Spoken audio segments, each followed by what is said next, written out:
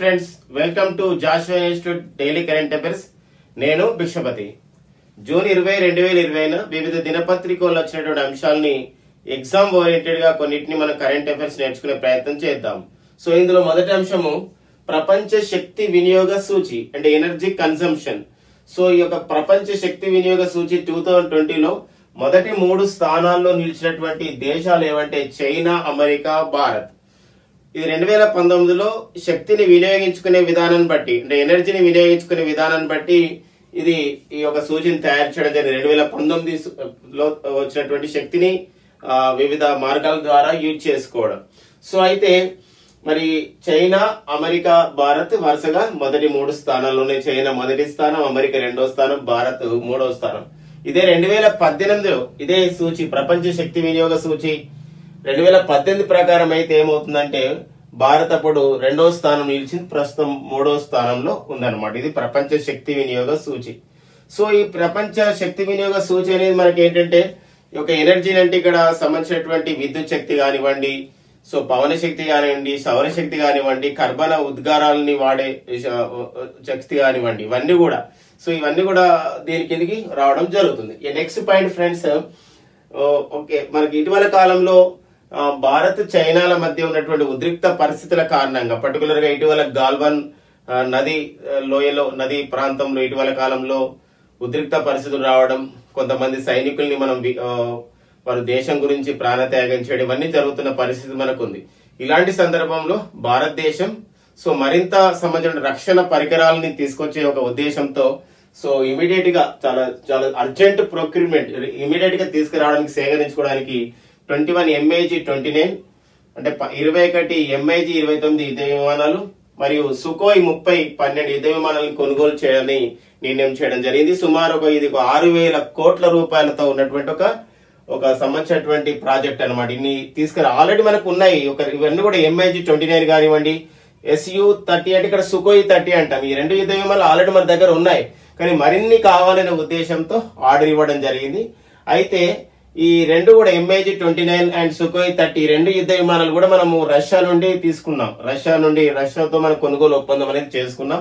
అయితే ఈ యొక్క ఆ, సుకోయ్ థర్టీ యుద్ధ విమానాలని భారత్ ఇప్పుడు మేక్ ఇన్ ఇండియాలో భాగంగా సో మేక్ ఇన్ ఇండియాలో భాగంగా ఒక ఒప్పందం ద్వారా హెచ్ఏఎల్ అంటే Hindustan Aeronautics Aeronautics Limited HAL అనగా హిందుస్థాన్ ఏరోనాటిక్స్ లిమిటెడ్ సో ఆ- యొక్క ఒప్పందంలో భాగంగా ఆ సంస్థ ఇక్కడే తయారు చేస్తుంది. కానీ రష్యాతో ఒప్పందం అయితే ఉంది. సో ఇదే అనమాట సో ఇట్లా అంటే మేక్ ఇన్ ఇండియాలో భారతదేశంలో తయారీ విధానాన్ని ప్రోత్సహించాలి ఒప్పందం ప్రకారం టెక్నాలజీ వారిదే. కానీ ఏంటంటే ఇక్కడ ప్రోత్సహించడం అనేది దీనికి ఉద్దేశం. అవి తయారు కాబోతున్నాయని చెప్పేసి ఇటు కేంద్ర రక్షణ శాఖ ప్రకటించడం జరిగింది. సో ఎలా అడుగుతాడు ఎగ్జామినేషన్లు అంటే ఇటీవల కాలంలో భారత్ చైనాల మధ్య ఉద్రిక్త పరిస్థితుల కారణంగా సో భారత్ ఏ రెండు యుద్ధ విమానాలు తీసుకురావడానికి ఇటీవల ఆరు వేల కోట్ల రూపాయలు ఖర్చు చేస్తుందంటే MiG twenty nine and Sukhoi thirty ఎన్ని సుఖోయి థర్టీ అంటే పన్నెండు. ఎంఐజి ట్వంటీ నైన్ యుద్ధ విమానాలు ఎన్ని అంటే ట్వంటీ వన్ అనమాట సో ఈ పాయింట్స్ని గుర్తుపెట్టుకునే ప్రయత్నం చేసుకో చేయాలి. నెక్స్ట్ మరొకటి అంశం ఏంటంటే సో గరీబ్ కళ్యాణ్ రోజ్గార్ యోజన. సో గరీబ్ కళ్యాణ్ రోజ్గార్ యోజన యొక్క ఉద్దేశం ఏంటంటే భారతదేశంలో ఇప్పుడు ఉన్నటువంటి కోవిడ్ నైన్టీన్ మహమ్మారి కారణంగా సో ఈ కోవిడ్ నైన్టీన్ పాండమిక్ కారణంగా సో వివిధ రాష్ట్రాల్లో ఉన్నటువంటి వలస కూలీలు సో వారి సొంత రాష్ట్రాలకు వెళ్ళడం జరిగింది. అయితే ఆ సొంత రాష్ట్రాల్లో ఆ వలస కూలీలకి సరైనటువంటి ఉపాధి అవసరం. అలాంటప్పుడు మనం అలాంటి ఉపాధి గురించి వాళ్ళ యొక్క సమాజ సంక్షేమం గురించి భారత ప్రభుత్వం ప్రారంభించినటువంటి కార్యక్రమమే గరీబ్ కళ్యాణ్ రోజ్గార్ యోజన. మే పన్నెండు రెండు వేల ఇరవైన భారత ప్రధాని నరేంద్ర మోడీ ఈ యొక్క కోవిడ్ నైన్టీన్ నేపథ్యంలో జాతిని ఉద్దేశించి మాట్లాడుతూ ఒక ఈ యొక్క ఈ యొక్క కోవిడ్ నైన్టీన్ మహమ్మారిని ఎదుర్కోవాలి. దాని కారణంగా వచ్చినటువంటి ఆర్థిక స్థితిగతులకి మెరుగుపరచుకోవడానికి అధిగమించడానికి ఇరవై లక్షల కోట్ల ప్యాకేజీతో ఆత్మ నిర్భర్ భారత్ అభియాన్ అనే కార్యక్రమాన్ని ప్రారంభించడం జరిగింది. సో ఆత్మ నిర్భర్ భారత్ అభియాన్ కార్యక్రమంలోనే ఈ గరీబ్ కళ్యాణ్ రోజ్గార్ యోజన వచ్చింది. ఈ గరీబ్ కళ్యాణ్ రోజ్గార్ యోజన యొక్క ప్రధాన ఉద్దేశం ఏంటంటే వివిధ రాష్ట్రాల్లో ఉన్నటువంటి వలస కూలీలు తమ సొంత రాష్ట్రాలకు వచ్చినప్పుడు వారి సంక్షేమం పైన దృష్టి పెట్టడం వారికి ఉపాధిని ఇవ్వడం అనేది ప్రధాన ఉద్దేశం. సో ఇది ప్ర- ఇది ఆరు రాష్ట్రాల్లో ఇప్పుడు ప్రజెంట్ అమలు చేస్తున్నారు. ఆరు రాష్ట్రాల్లోని నూట పదహారు జిల్లాల్లో వన్ వన్ సిక్స్ నూట పదహారు జిల్లాలు అమలు చేస్తున్నారు. అయితే కేంద్ర ప్రభుత్వ పథకాలు అయినటువంటి ఇరవై ఐదు పథకాలను ఇందులో భాగస్వామ్యం చేశారు. సో ఇరవై ఐదు పథకాల ద్వారా వీళ్ళని లబ్ధిదారుగా చేస్తారు. అంటే ఇక్కడ ఉపాధికి ఇచ్చే కార్యక్రమంలో ఇళ్ళ నిర్మాణం చేపట్టడం మౌలిక సదుపాయాల కల్పన ఇలాంటి చేస్తున్నప్పుడు పనివారు అవసరం ఉంటుంది కాబట్టి వారికి ఒక వలస కూలిగా అక్కడ పని చేపిస్తూ సో ఉపాధి ఇచ్చే కార్యక్రమం అనమాట అయితే ఏ రాష్ట్రాలు ఏమంటే ఉత్తరప్రదేశ్ మధ్యప్రదేశ్ ఒడిశా జార్ఖండ్ బీహార్ రాజస్థాన్ రాష్ట్రాలు ఈ ఆరు రాష్ట్రాలు అనమాట సో ఆ పాయింట్ గుర్తుపెట్టుకోండి. ఇది ఒక మంచి పాయింట్గా అంటే గరీబ్ కళ్యాణ్ రోజ్గార్ యోజన యొక్క ఉద్దేశం ఏంటి? అది ఎన్ని రాష్ట్రాలు అమలు అవుతుంది ఎన్ని కేంద్ర ప్రభుత్వ పథకాలు ఇందులో భాగస్వామ్యం అవుతాయి ఆ పాయింట్ కూడా గమనించాలన్నమాట. సో ఇది మరి ఈ ఆరు రాష్ట్రాలు ఉత్తరప్రదేశ్ మధ్యప్రదేశ్ ఒడిషా జార్ఖండ్ బీహార్ రాజస్థాన్. సో ఆ సంబంధించిన వలస కూలీలు వివిధ రాష్ట్రాలు ఎక్కువ ఉండడం వల్ల ఆ నిర్ణయం తీసుకోవడం జరిగింది. సో ఉత్తరప్రదేశ్ ప్రస్తుత ముఖ్యమంత్రి ఆదిత్యనాథ్ యోగి అండ్ మధ్యప్రదేశ్ ప్రస్తుత ముఖ్యమంత్రి శివరాజ్ సింగ్ చౌహాన్ ఒడిషా ప్రస్తుత ముఖ్యమంత్రి నవీన్ పట్నాయక్ జార్ఖండ్ ప్రస్తుత ముఖ్యమంత్రి హేమంత్ సోరెన్ బీహార్ ప్రస్తుత ముఖ్యమంత్రి నితీష్ కుమార్ రాజస్థాన్ ప్రస్తుత ముఖ్యమంత్రి అశోక్ గెహ్లెట్ సో ఆ పాయింట్స్ని గుర్తుపెట్టుకున్నాను next central railway zone so central railway zone ఈ యొక్క కోవిడ్ నైన్టీన్ నేపథ్యంలో కొత్త కొత్త అన్వేషణలకు కొత్త కొత్త ఆవిష్కరణలకు వేదికగా చాలా సంస్థలు నిలుస్తున్నాయి. అందులో ఇప్పుడు సెంట్రల్ రైల్వే జోన్ ఏం చేసిందంటే టికెట్ సంబంధించినటువంటి ఇష్యూ చేయడమే కాదు ఒక ఆటోమేటిక్గా వాటిని చెక్ చేసే ఒక యంత్రాంగాన్ని కూడా తయారు చేయడం జరిగింది. దాన్ని మనం ఆత్మ అని పిలుస్తాం ఏటీఎంఏ ఆత్మ. ఇటీవల కాలంలో భారతదేశంలో మొత్తం పద్దెనిమిది రైల్వే జోన్లు ఉన్నాయి.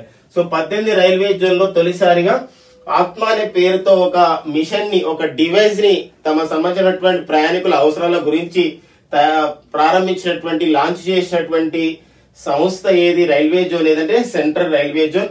So central railway zone యొక్క ప్రధాన కార్యాలయం అనేది ముంబైలో మనకి ఉంటుంది ఛత్రపతి శివాజీ టెర్మినల్స్లో సో సెంట్రల్ రైల్వే జోన్. అయితే మరి సెంట్రల్ రైల్వే జోన్ ప్రారంభించినటువంటి ఆత్మ అనే ఒక డివైస్ ఒక పరికరంలో దానికి అబ్రివేషన్ ఏంటంటే automated ticket checking and managing access మరొకసారి friends ఆత్మనగా automated ticket checking managing access అంటాం. సో ఇది రైల్వే సంబంధించిన ఇన్ఫర్మేషన్ ప్రస్తుతం భారతదేశంలో ఉన్నటువంటి రైల్వే జోన్ల సంఖ్య పద్దెనిమిది.